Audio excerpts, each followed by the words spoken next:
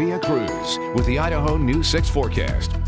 Morning everyone, it is Wednesday and for some of us the first day back to school and I want to say happy first day to all the students and teachers returning. I know first days can be nerve-wracking but we'll all get it through together and it will be okay. But before we start talking about the week ahead, I want to talk about the current fire situation that we're seeing. We've had several wildfires caused because of lightning and dry thunderstorms that have came through. Now here's an update on the paddock fire at 60% containment. So that rain yesterday really helped and aided in containing some of the fires but the ones I want to really focus on are some of these other ones over here.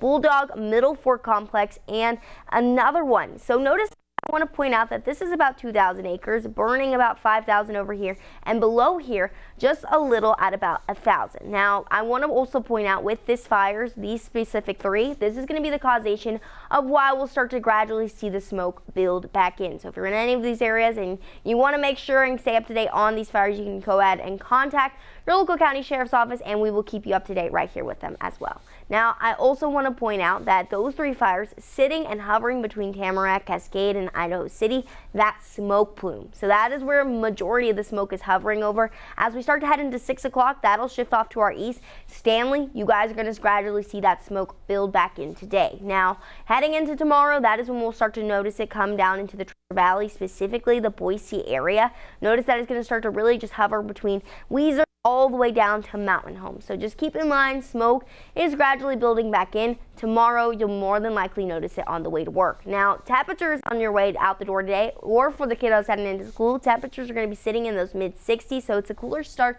to our day but by this afternoon we will see a little bit of that heat return. We'll be sitting between and hovering between that upper 80 and 90 mark in our mountains a little bit cooler 70s and upper 80s on the board now in terms of what we're tracking for our rain chances we have a pretty good chance for seeing some rain and showers on thursday this is about 60 50 percent between the treasure valley a little higher way up towards Stanley and Ketchum.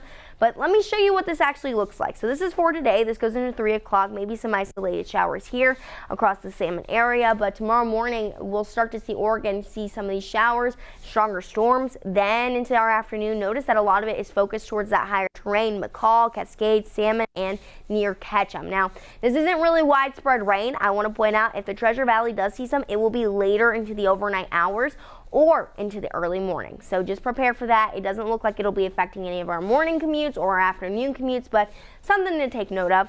Now, our temperature outlook, if you're tired of seeing this back and forth pattern between these 80s and 90s, it does look like we're going to start seeing a nice cool down as we make our way into August and into the later half of the week. Notice that we're starting to see some of these lighter colors come over.